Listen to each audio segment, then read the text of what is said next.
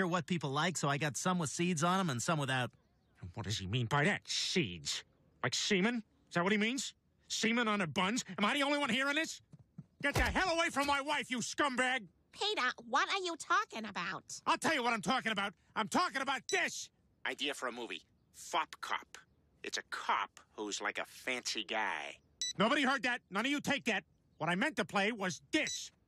I want Lois. She's perfect. I've loved her for years. Fop Cop. That could work. Glenn, is this true? Wait a minute, how the hell did you get that recording, Peter? You pocket dialed me, you bastard! Peter, that was a private conversation. That doesn't change the fact that you want to steal my wife. Hey, get your hands off me.